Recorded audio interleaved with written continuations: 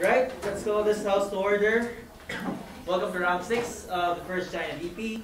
Um, to open this debate, let's invite the Prime Minister to propose the motion. Yeah, yeah. Go Singapore.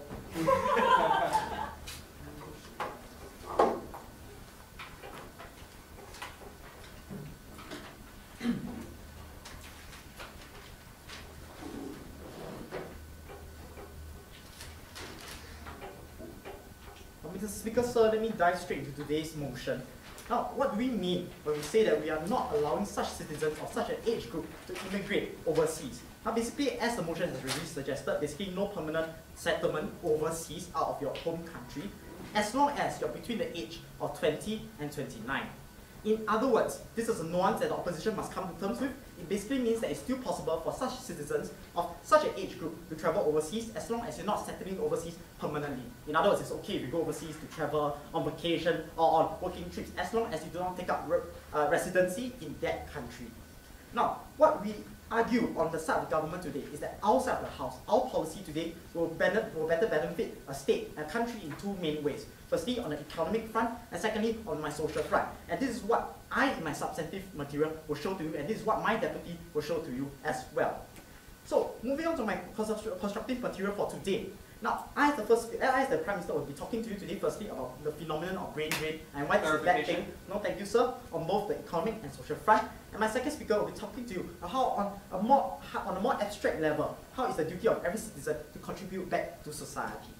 So now moving on to this phenomenon of brain of brain drain. So basically what does it mean? Basically it's a phenomenon in which we see skilled labor, uh, no, not just skilled labor, unskilled, both skilled and unskilled labor moving from a developed from developing country to a developed country.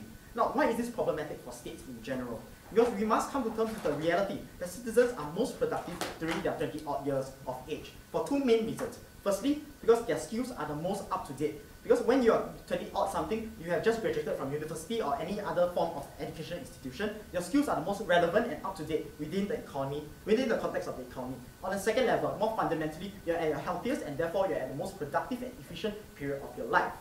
Now, Mr. Speaker, sir, why do we say that brain drain is a problematic uh, phenomenon, even taking into consideration that globalization has eroded barriers between different countries?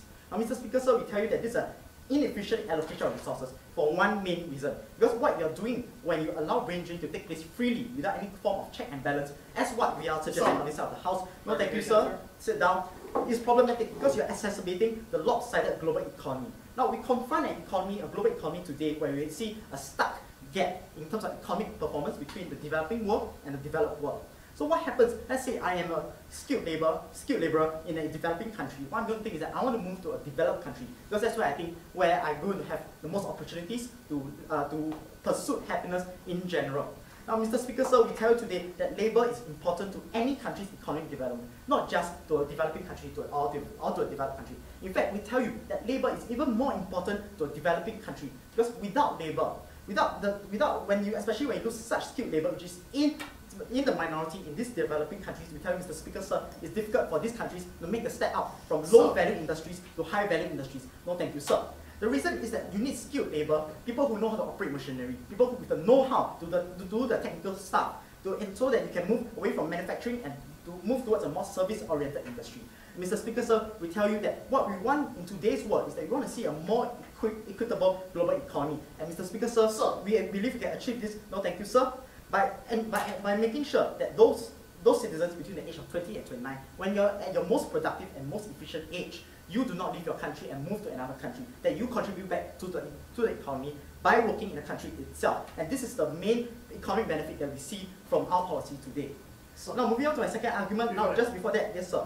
Now, wouldn't you agree with me that the human life is so complex that you shouldn't actually reduce it to this economic unit called labor, whose sole purpose in life is to so, be subservient so. to the state and become an economic unit of the state? So I, I completely agree with you. That's why the state has various other functions, such as we build museums for our citizens, we, we have art theatres for our museums, because we do not consider them as just economic units. But let's face it, when you're doing the economic planning for the future of your country, especially if you're a developing country, you need to take into consideration this hard consideration. And this is something that I seem to be hearing from opposition they are not coming to terms with. That we need to deal with the hard fact that labor is the most important factor of production in ensuring that their country can make a step up next to, the, to be on par, or at least be competitive to the developed countries in general. Now moving on to my second argument about how exactly does our policy ensure the returns on the investment made by the government. Now if you take a look at how exactly, no thank you sir, how exactly the government spends its taxpayers' money, is that we build up a structure, a superstructure of social support network. Basically I'm talking about things like schools, hospitals, uh, and things like that, and housing, you know, as providing a safe environment for this group of individuals to grow up in. Now, Mr. Speaker, so why 20 is that specifically? Because if you live before that, we are okay with that. Because you have not reached the age at, at a point where society has given all, given you all you have, and now it's up to you to pursue your own happiness.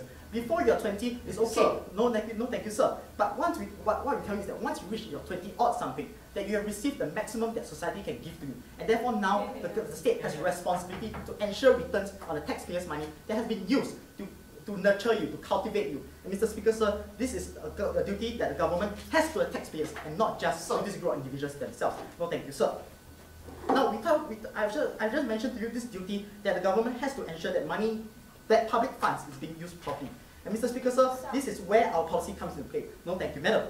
Our policy ensures that, that these, these individuals who are the products of this superstructure of social support network will eventually come back and stay in our country to contribute back to society, not just economically, but also, but, but also participating in the social fabric uh, building uh, uh, process.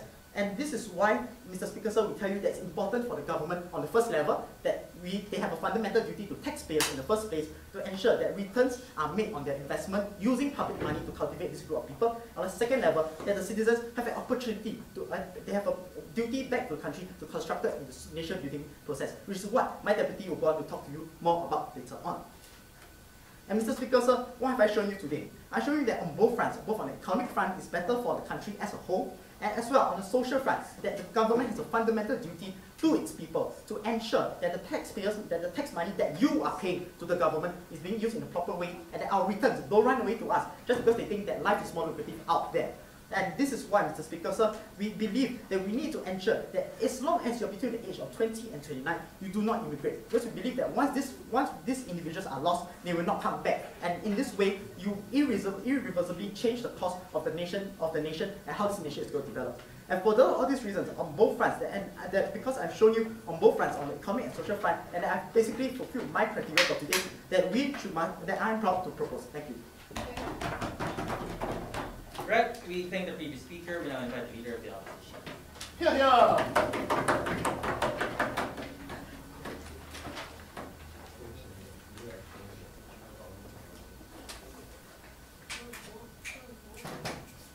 Shut up.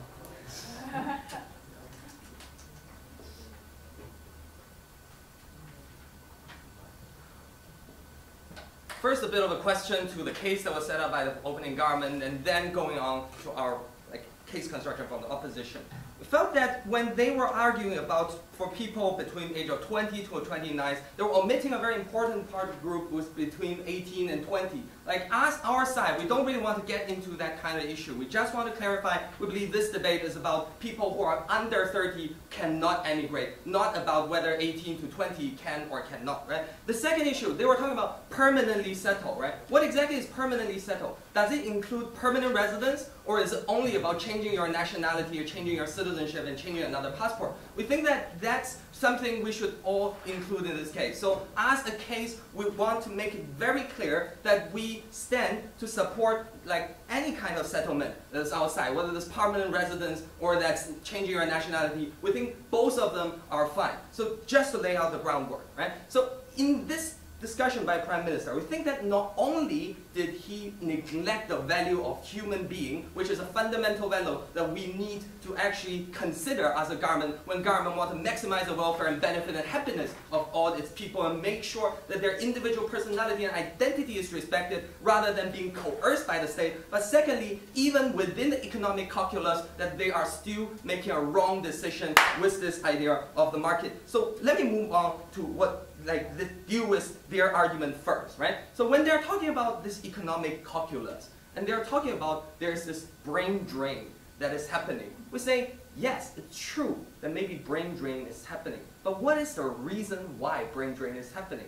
Is it because your country cannot offer enough and enough good jobs compared to elsewhere, right? So if that is the reason, why shouldn't your country improve, right? I'll talk to you later on about how you can improve. But eventually, right, if someone thinks that I can make much more money outside, and I will be stuck in here, that I can't make as much money, will they work for your country wholeheartedly in a way that it is productive, in a way that truly benefits your country, right? But let's consider the second layer of this issue. Even if they can stay inside their country, can they perform? It's not really about their attitude.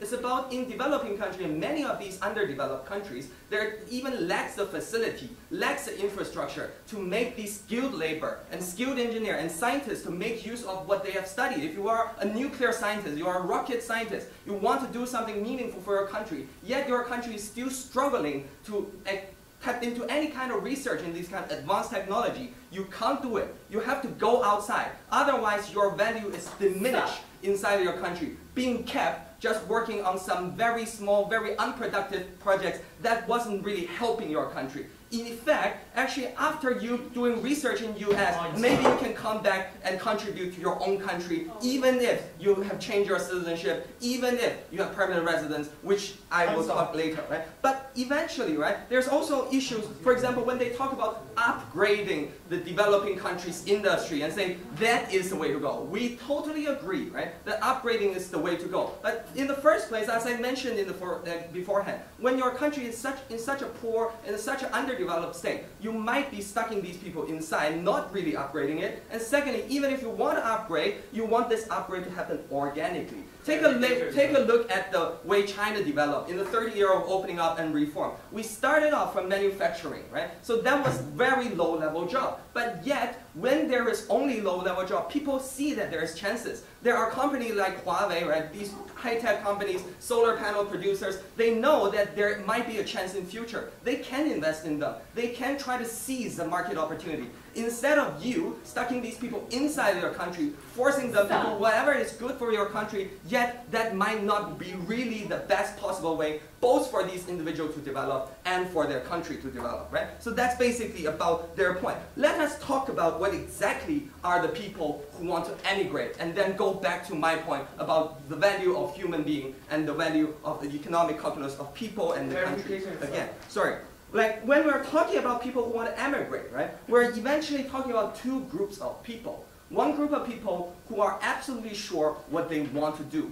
They have made clear comparison between different countries. They understand that their research cannot be done in their own country. They understand that their religion is being oppressed in your own country, and they want to go to another country. We say that for these kind of people, when they want to seek a clearly better choice in an informed way outside, that must be a better way for them to, uh, to do so. If you're a homosexual stuck in a Muslim country, right, you don't really want that to happen, and you want to move to a more like liberal country, and yes, we must actually make that happen. Otherwise, that person would be scrutinized and would be coerced in that country alone. Wouldn't you agree, sir? Uh, I tell you that oppressed minorities are out today's debate because they can seek political asylum. Yeah, They're out yeah. of in the first place. But there are not only people who are seeking political asylum that is at stake in here, right? We're talking about so many different groups of people. It's about the community they choose. It's about the kind of welfare system they choose. It's the kind of country that they eventually feel that they're in accordance with. But more than that, right, there are also many other people who made their comparison based on not only the religious identity and stuff and such, right? They, for example, they felt that us becoming an artist and who is very international, they want to make working easier by having a passport from another country simply to travel easier, to sign contract easier, to avoid all sorts of regulation by their home country, for example. That's exactly the case in China. That's not only for artists, that could also be businessmen, that could also be so many different groups of people who are categorized in this case. What is nationality, ladies and gentlemen? They change it, or permanent residency. They change it not simply because they love another country more. It could be because they love another country more, or it could be simply for a practical benefit. Now, you don't allow these businessmen to do better business simply because they're stuck in your own country. You can't actually get that better for your own country. But let's talk about the second group of people, right? Just I was talking about people who are informed and who can weigh the issue. What about people who are not really that much informed, who doesn't really understand that going abroad might give them trouble, there might be cultural shock and stuff, right? We say eventually there's still fallback mechanism. If they feel that outside is not that good, if they feel that actually all these personal satisfaction that they thought that they could achieve will not be achieved outside, they can still come back to the country. Eventually, we're discussing a debate talking about short term and long term. Yes, you might sacrifice human resource in short term, you might have a lot of problem in short term, but we do see a lot of people going abroad and send money back to their home country to develop, to bring technology back to their home country to develop. We say out of necessary like situation, they have to do so. We'd rather protect the right of the human being. Thank you very much.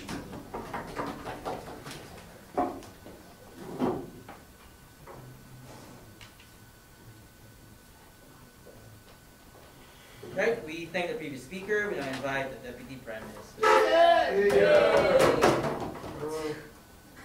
Let me get my, let me get my time out, sorry.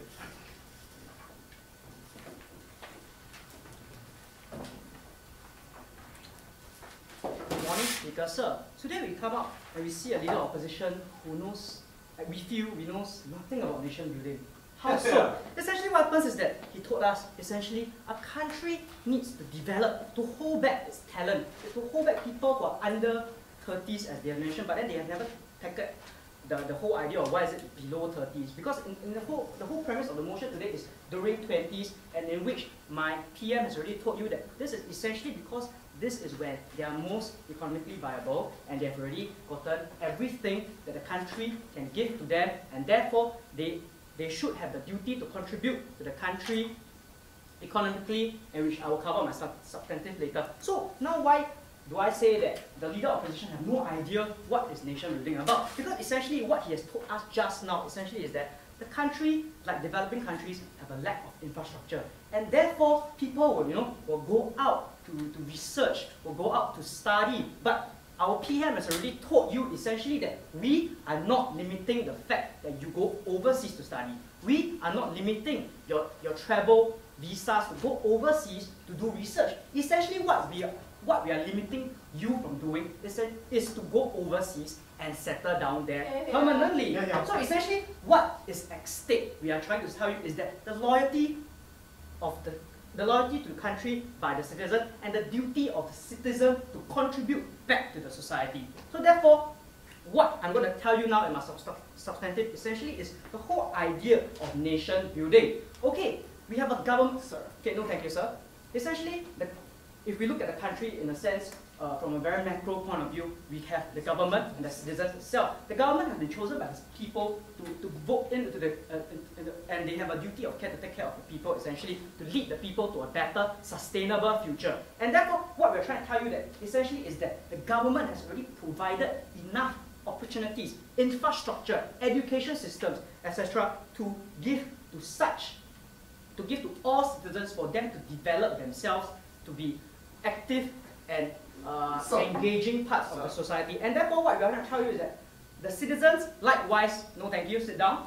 Essentially, we have also a duty to contribute back to our society. Why so? Let me move to you. Let me let me re-illustrate my PM's point.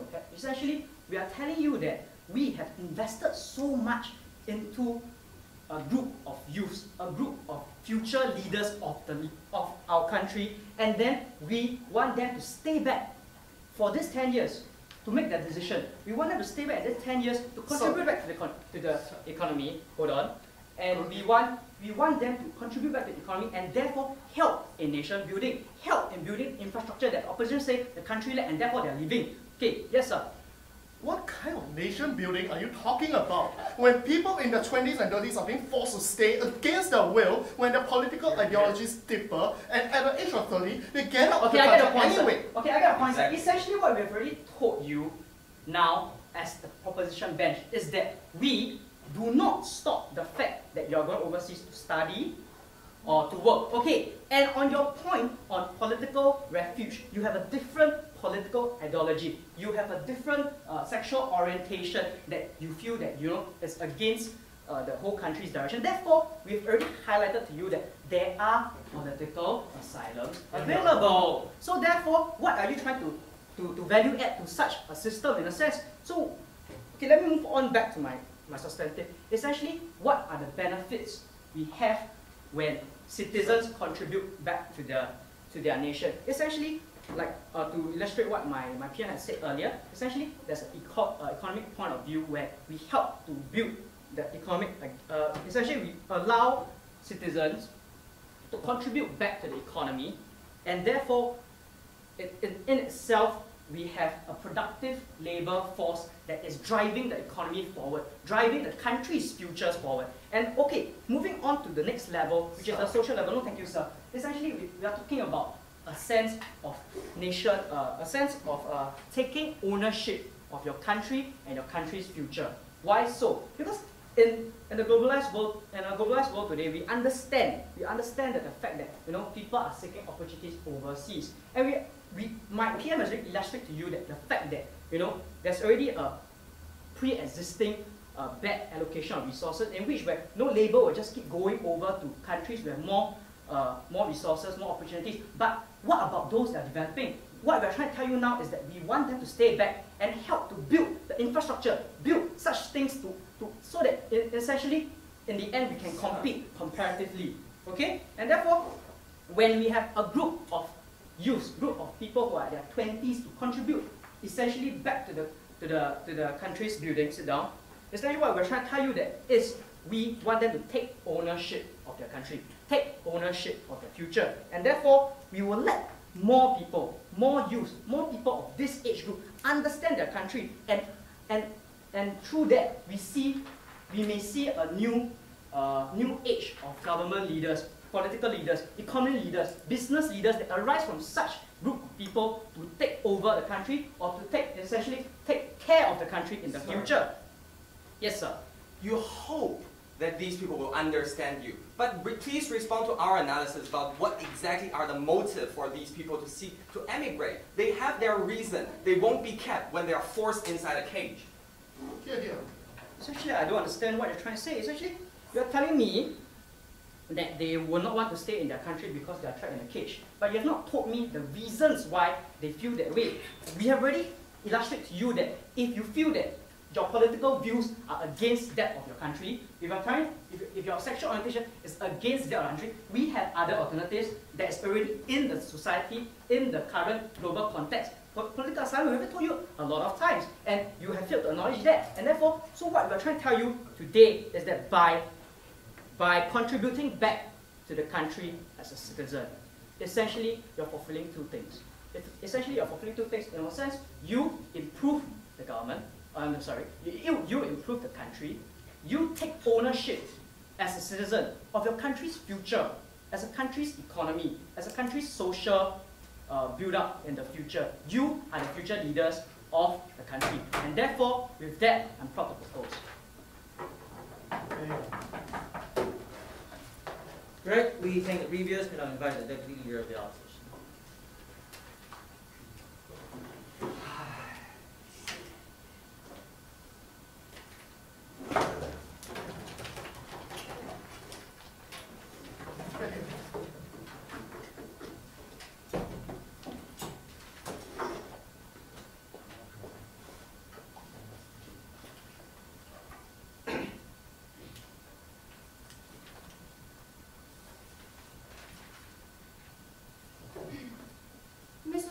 We're so sad for the government side who treats the citizens instead of not citizens, but the properties of this country. We feel extremely sad to that without the, the, government, without respecting to the individual's identity choices, without respecting their own rational calculation towards that. We think really, really pitiful. What they focus is about the economic benefits, economic, uh, social benefits. However, they never tell us why living, changing your nationality will definitely result in the economic losses in this case. Well, we already, we had to tell you Firstly, there are many citizens living in your country just heavily burden your welfare system by not earning enough uh, on skills and letting you pay governments pay a lot. Well, secondly, we say that there's still a group of people even though they choose to change their nationality just for practical reasons, want to make their life easier, work easier, to travel easier in terms of uh, among different countries. We say, why not?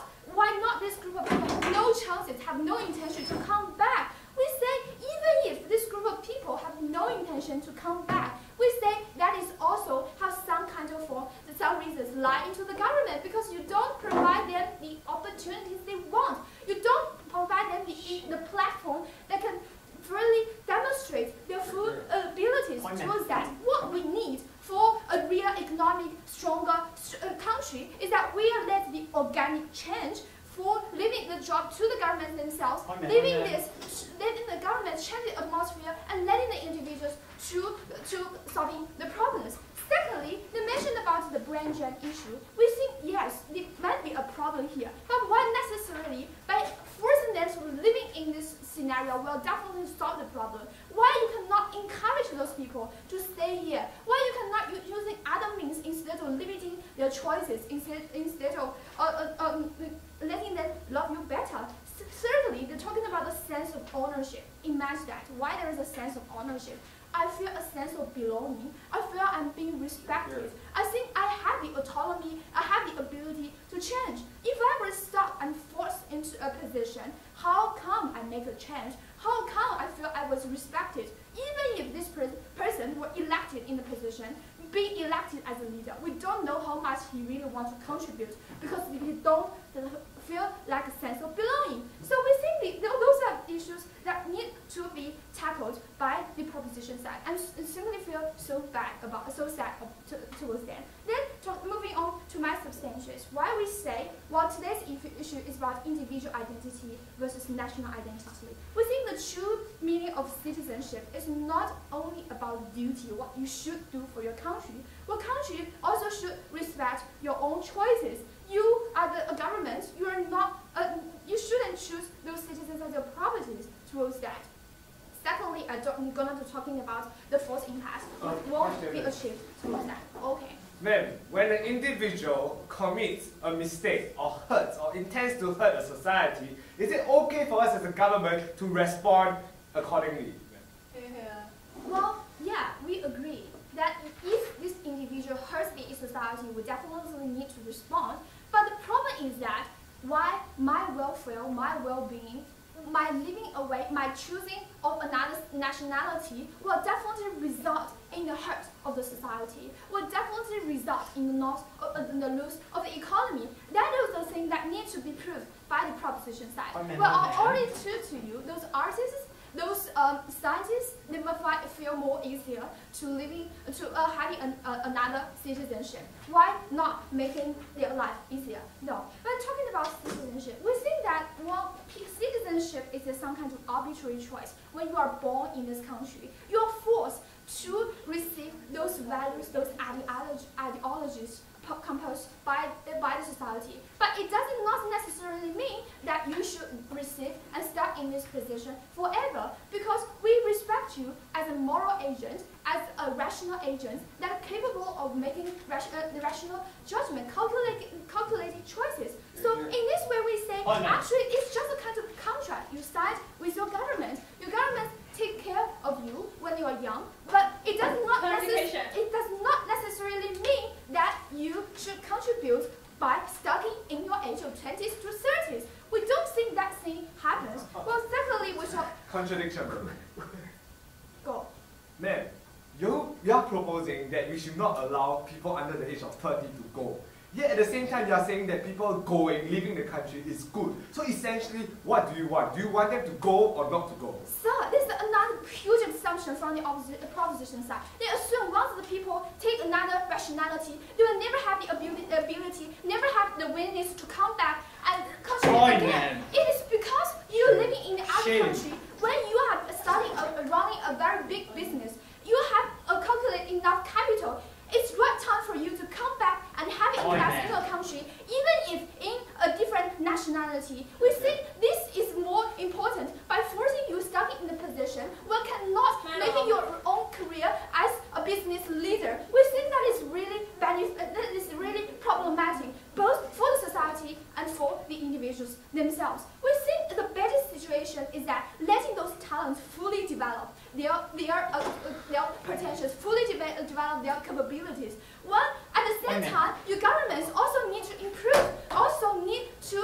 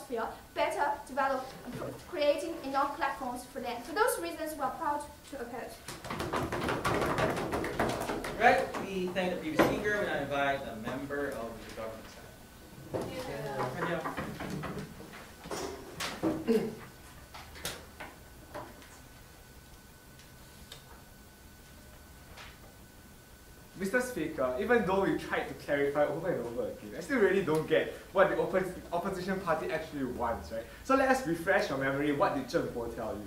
He told you that they do not stand for us claiming to have 20 to 29, right? He told you that as long as you are under the age of 30, we won't allow you to go out. But secondly, the deputy, uh, deputy leader of opposition told you that people needs to be fully, uh, people's ability needs to be fully demonstrated. We should let them go. And more importantly, they tell you that people hate to be stuck. So essentially, what are they proposing? What is their stance? We don't understand. And secondly, they tell you that uh, in certain cases, I don't have my, also I'm a talent, right? I'm a young talent. I don't have a job uh, to my specialty, and therefore I want to go out. But ladies and gentlemen, I think we have several responses to you.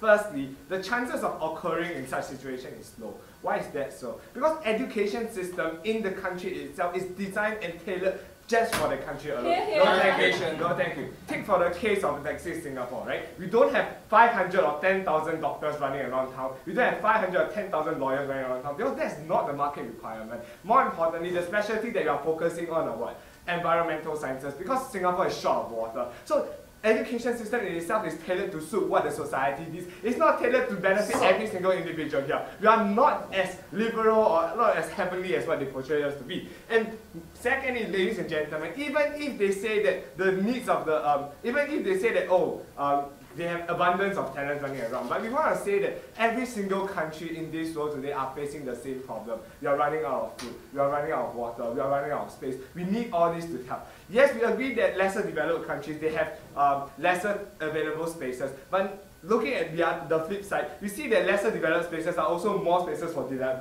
development. Yeah. More spaces that require more energies and more expertise. So in this sense, ladies and gentlemen, these people going off to the country is not the way to go. And more importantly, we think we can recommend certain enhancement into this desperate situation. For example, to provide enhancement training, or even the, even uh, or even like what Singapore does, right? Or we combine the, this kind of special talents and send them overseas to work on overseas project and earn the money back to Singapore. So their skills can be uh, can be used. Like for example, in the case of the eco uh, eco city in Tianjin, right? We have people who build the uh, infrastructures. We have people who build water, and these are not the essential skills. No, thank you. Not the essential skills that Singapore is uh, needing, uh, required for. However, we can organize these talents to send them overseas and work for us in Singapore. And they are not only contributing to places overseas, they are also contributing directly, no thank you, back to Singapore in itself. So we don't see what's the problem with, uh, uh, what's the problem with holding back in our country because we can provide the space for them.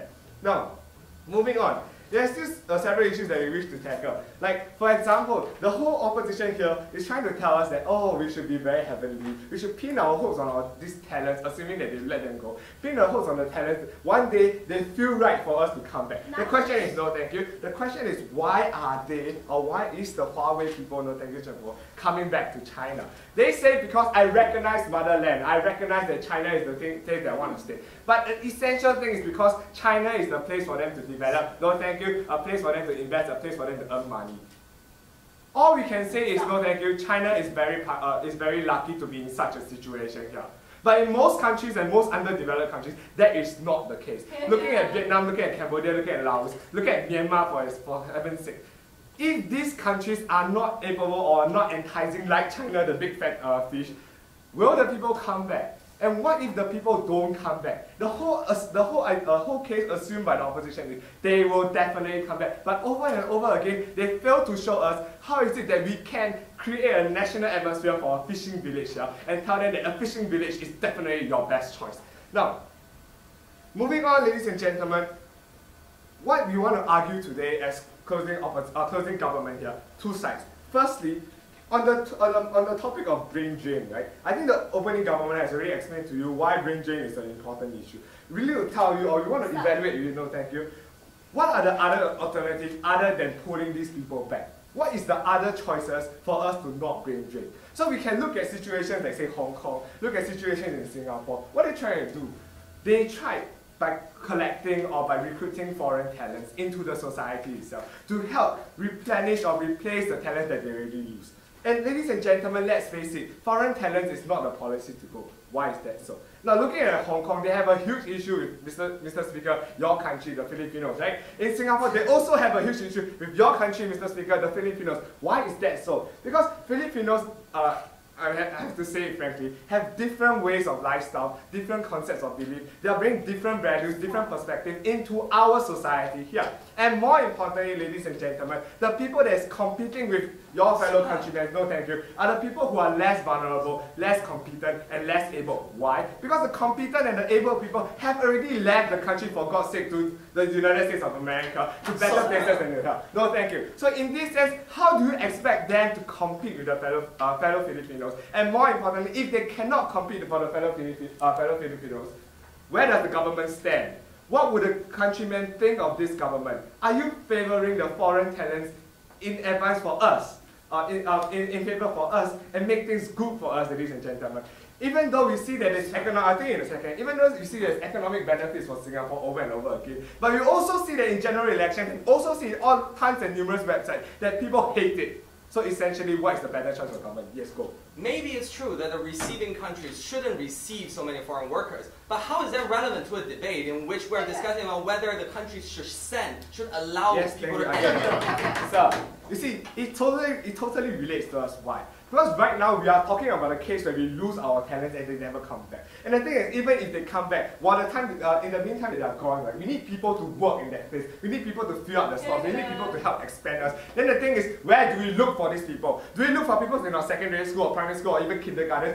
Clearly not, because they're not ready. So we look at people who are fresh off the market from Filipino, uh, from Philippines, from Malaysia, from nearby countries. And that is the issue. When creating social, uh, social tension itself, you are weighing the cost and the benefit here. What is the heavier cost? Clearly the social tension, because it's harder to, when once they come into our nation, it's hard for them to leave. We can't tell them, oh, you have done your, uh, done your job, thank you very much, go back to your hometown. It's, it's, it's a terrible situation that we have to face. And secondly, ladies and gentlemen, globalization here. We agree that globalization helps with all uh, benefits and uh, all efficiency in the situation here. But the true thing is, who does the globalization help? Globalization helps people who are, like I mentioned, competent and able. But what's the real situation here? That this society is not made up of all competent and all able people. There's people who are less competent and able. And what do we do about them? The situation right now we are facing is that we can do nothing about them because we can't help them as a whole. And when we come down, that is bad. But it gets worse because there's other people from other nations that are enjoying the benefits and the fruits of our labor and our economy. And this is making the social tension worse. So in all these sense, we see by choosing the alternatives, by letting them to go with such a policy, we stand proud to propose our motion that we will not let them go. Thank you. Right, we thank the previous and I invite member of the opposition.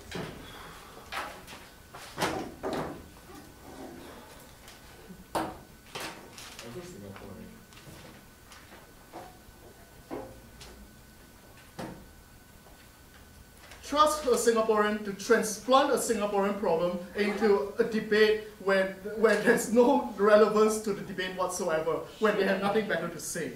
Now, Speaker, sir, I think today's debate has been essentially a very messy one in which the very key principles have not been elucidated. And before we move into our, our closing extension or the alternative mode or our alternative models of growth, harms of status quo, and why brain drain is actually an okay thing for uh, uh, why brain drain is actually okay for the state to accept. I think we need to clarify a lot of what transpired in today's debate.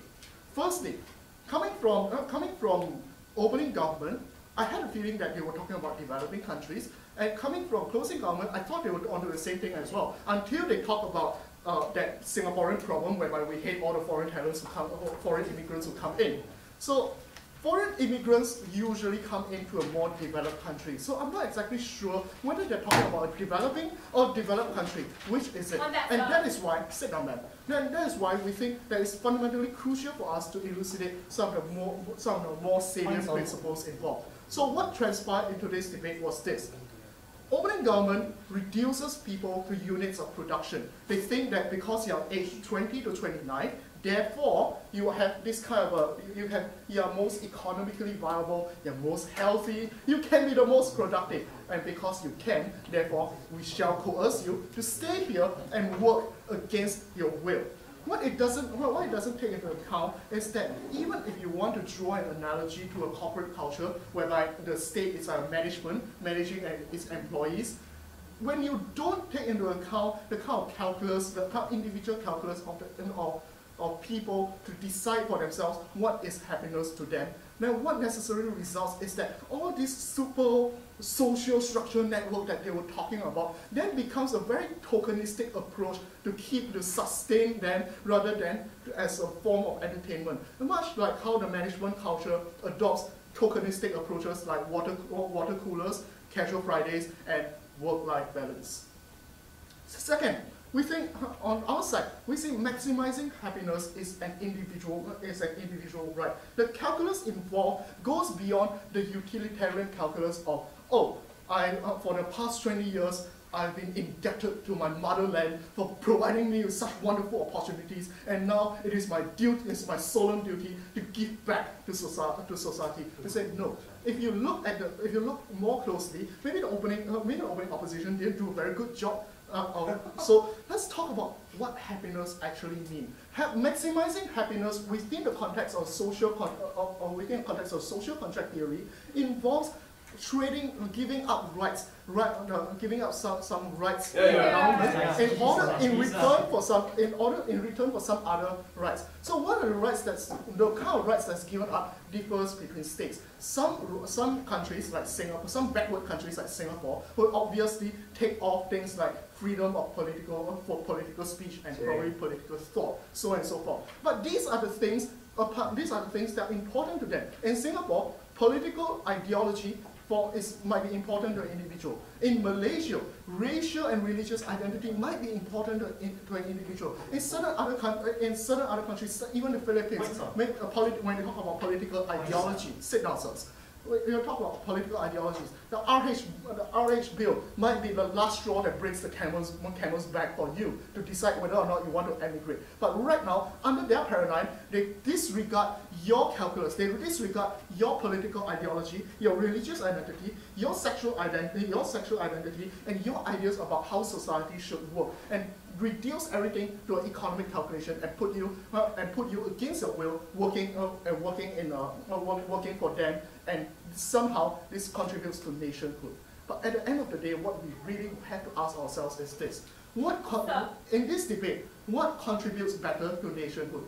Coerce restriction of, on immigration policies or allowing individuals to maximize their policy. And this is where we this is where we come in. We say that citizens do not have the kind of duty uh, duty to repay or repay the state based on the idea that people based on the idea that somehow because the state provided for you, therefore you must return it uh, return it back to them. It is a very cultural construct. In Western liberal, democracy, uh, Western liberal democracies, even when you talk about the parent-child relationship, the child is a dependent for 18 years. But after which, after which he's considered independent individual, and there's no need for him to actually repay the payback to her parents. It's a very cultural construct in Chinese conservative societies. Before that, Chin So, so essentially what you're saying is that we should just pin our hopes and one day our culture is strong enough to pull them No. back. No, answer me, what if the culture is not sit strong sir. enough? What, what we're saying is that, yeah, well, only opposition say that we pin our hopes that one day they may come back because they felt that culture, uh, that um, after many years, they're not stagnant in their ideology, in, in their mind. They're not like they're not debaters like you. Still, the thing, the thing that cultural identity is ultimately important. That they feel a sense of emotional attachment to uh, to their to their great motherland, and then 中国 will then come will then come back and contribute. That is up to the individual to decide. What we want to say is that we think that fundamentally we, we don't see the economy as a kind of a stagnant as a stagnant model. Our extension is this. Alternative models of having of importing immigrants is a viable policy for a state for a state to take to, to take on. Why? When immigrants come here come to our country because they agree they, they agree with our ideology, they agree with the kind of uh, they agree with fundamental kind of ideas that that we have. And that's why they're willing to contribute to our nation, our state of order, our state, our nation, and contribute and also maximize, maximize our own happiness in the, in, in the process.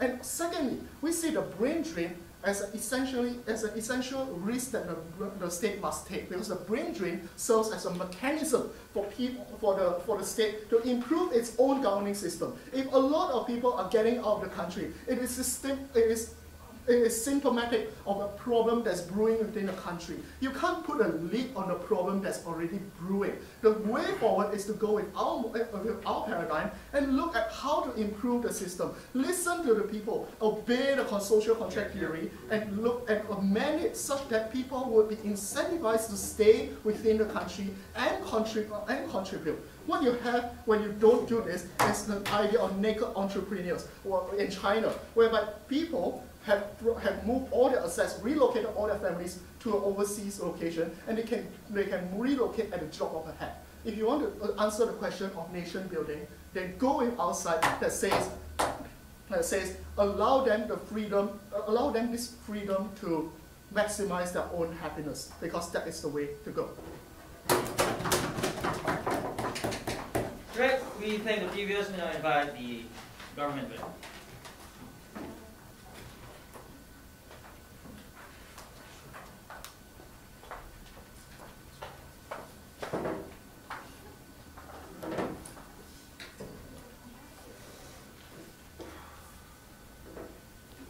When you're ready. Thanks. Mr. Speaker, King Heng's argument, I feel extremely confused. First of all, when they talk about brain drain, it's a signal for government to improve its infrastructure or whatever it is. Two questions. Who are those people who actually immigrate into foreign countries? And who are the ones who stay behind? First of all, when you see people actually immigrate out of the country, they are capable, they are, uh, they are more talented and skilled in that, in the certain perspective. For example, they are more like, hand, uh, they are more aware, they are more exposed to advanced technology, they are more equipped with a modern uh, knowledge that could assign them.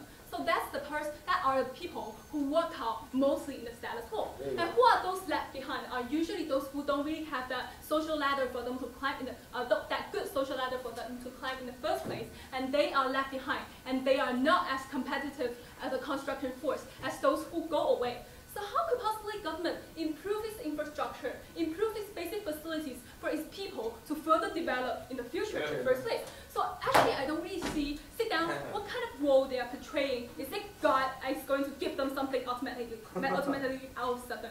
And secondly, he may contradict himself, right? When did he ta- actually talk about the concept of social contract? When you actually talk about how you give some part of right to government and then you enjoy some part of freedom, that exchange. Sit down, sit down. When we say that, actually that part of e- equation in the status quo is not e- equal at all. We see that government has invested vast resources on you, like coach uh, education. Madam. You're going to sit down, sit, um, primary school, middle school, whatever it is, and that makes you who you are as the identity of this people from this nation in the first place. It's not simply about the education you receive, as Chenlin talked to you about. It's more like the culture, cultural perspective that has added to you and that's molded you to who you are in the first place. So this is a high time for you to step into you, a step on your country to do something Madam. sit down constructive in the first place. Two clashes in this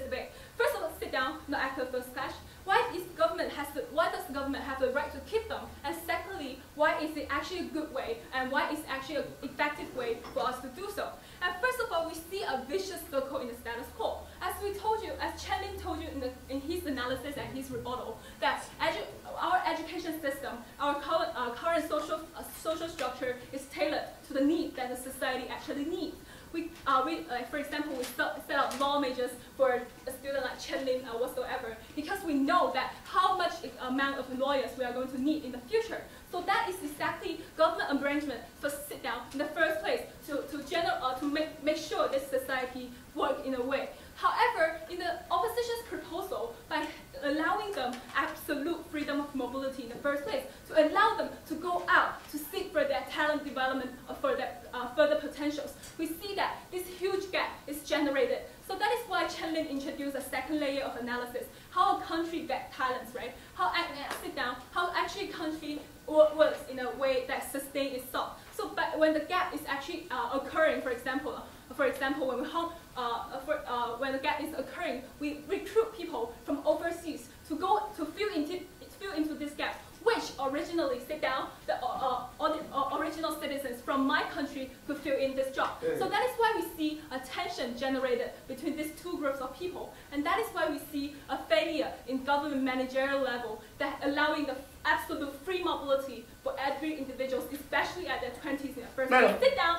And secondly, why we say this, why we say in the status quo, as I analyzed to you before, and who are those ones to immigrate and why they are so crucial to this society, right? So for them, they are the advancing power in this society and to take the country into the next level. We are not talking about, we, are, uh, we, are, we don't want Myanmar to fill, uh, fill, the, fill his country with Foxconn and that, uh, uh, that sit down, that are, are not as high-graded industry we have in the status quo. We want these countries to be some, to maintain those talents who are at their most productive uh, age, to build something and to give the potential to create something Madam. like sit down, the uh, examples of Apple, to bring about innovation, to bring about the actual progress in the uh, actual progress and uh, uh, structural advance in this in the status quo. So that is why we keep them here and make them uh, and let them to work in this capacity sit down cap uh, capacity in the status quo to fill in this gap. And secondly, when we talk about this this move of moving away like, from developing countries to developed countries, we see what this move is actually radical. What they see from the target country that they want to immigrate to is simply the good fluffy things. See, they have advanced technology. Sit down, see they have something that I want. They are not actually that uh, they are not actually see how they are going to suit into that society if they go into that specific area. However, in the status quo, by staying in their home country for, uh, for past 20 or 30 years of establishing their own identity and their own position in this society, they are a better chances, a better starting point for them to go to next level, uh, as I illustrated. Madam. Lower house. Now, answer this assumption. Why is it that when I, who do not feel a sense of belonging to my country, would suddenly feel, will suddenly be very economically productive and want to contribute towards the nation building of my country? Sir, that question, first of all, I think it should be answered by your side of house. We don't really think that sense of belonging necessarily linked to the productiveness of economy. And even if we say the sense of, of belonging will definitely escalate the productivity, we see that is actually not something could be developed by one time sit down. And for a past, for, uh, for a pass for, for those uh, fresh blood to come into this mechanism of work of social They are not they are they are, they are like not fully on the way uh, not not uh, their identity is not fully established as a whole. However, by entering into a workplace, by entering into a job field, and they know better where they where, can, where they can aiming at, and they see greater potential in the target group they enter in. So that is the thing we say in the status quo. And secondly, coming up nicely to my second point, what, what kind of society we want to create? Why is it actually good? We see from this, we see the ultimate goal of this uh, this thing is that we want to uh, we want to uh, we want as much people to stay in our country as possible.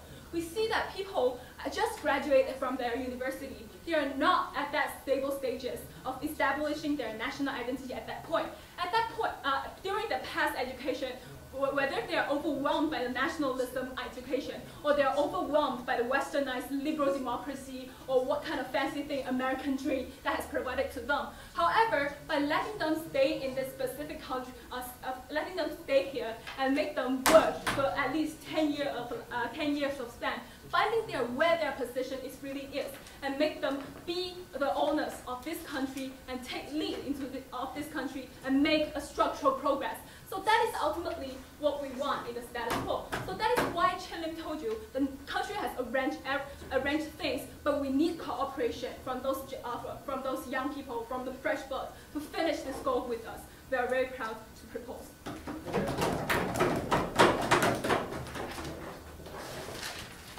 Right, we think the previous closes debate, opposition whip.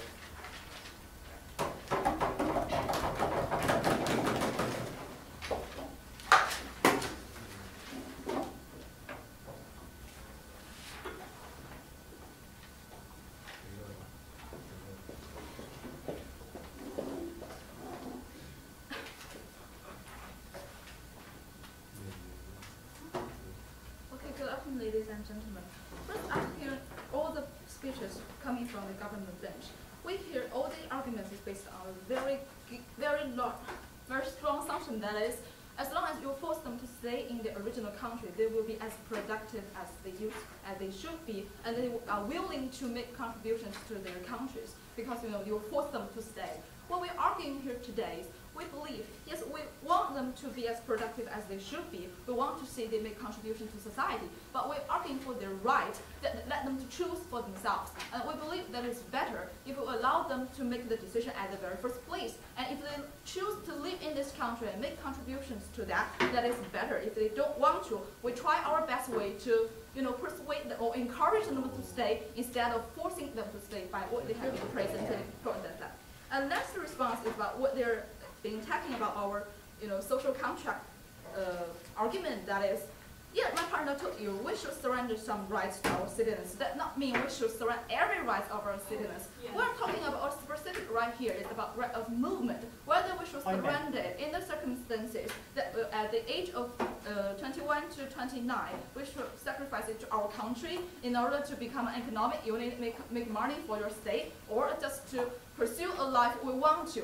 Their reason for that, it will be productive. They will be willing to stay is that, you know, they have the cultural connection with their motherland. Well, as long as the thought of moving to another country, as long as the thought of immigration coming up, coming out of this person's mind, th- their pursuit of happiness, pursuit of better working condition, pursuit of, you know, uh, peaceful political environment has already outweighed their so-called cultural connection with their motherland. As long as they plan to go, they already have the incentives to go. Their incentives to make contribution to their own country has already decreased by their other pursuit. And we value that kind of pursuit and we value their right to choose. That is the reason why we don't buy your arguments overall.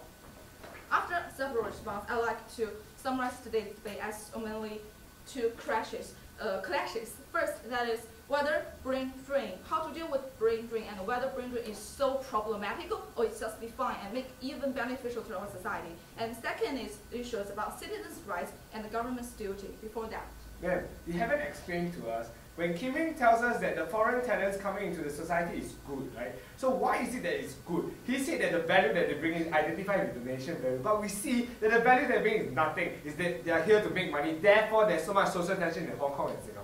Well, if you do have so much problems, you know, inviting foreigners coming to your country, or just set some policies, stop them to enter in your country at the very first place. What we're gonna say, if we stop them from entering the country at the very first place, how can we deal with, you know, the lack of talent in our society? My other house I've already told you, and my and we can, you can improve the working conditions or other uh, giving a set of policies that encourage them to stay. And my partner also told you why brain drain here is important. It's kind of reminder and kind of check and balance systems to remind you how to change your current existing system in our society so that conditions could be made better. You never actually respond to what they willing, the, the fact that state is actually willing to change to keep those citizens around. And you never respond to our point that is, as long as they are willing to stay in our country, it would be much better if uh, the outcome will be much better than you know, forcing them to stay in their country.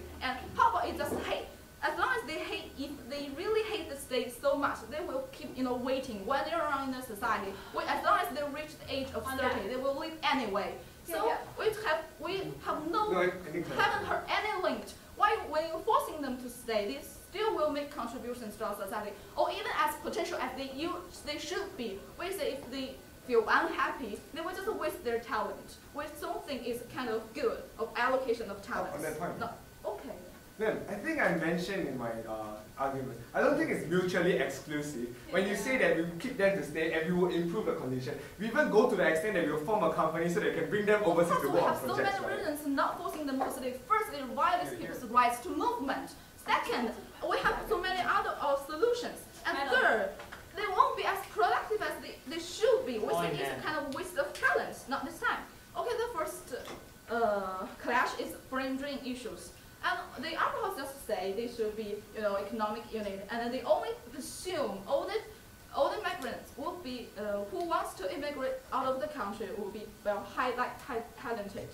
To that group of people, we say, oh, offer you solutions. And also, we want them to stay by their own will instead of forcing them to stay. And they also mentioned something about educational system. It's designed by you know, the need of the country, and they, the talents won't be wasted if you keep them in the country. Well, that is not true in the status quo because the si- education system is also by, driven by the profits and also driven by the market. Let you tell you a specific case that you may not know the name, you may not know this county because it's a very- very small county in Henan province. You may probably not know. But the truth is that as long as a coal mine is found Madam. in that county, every university and every college in that very small city op- open the major of you know exploring the mine code.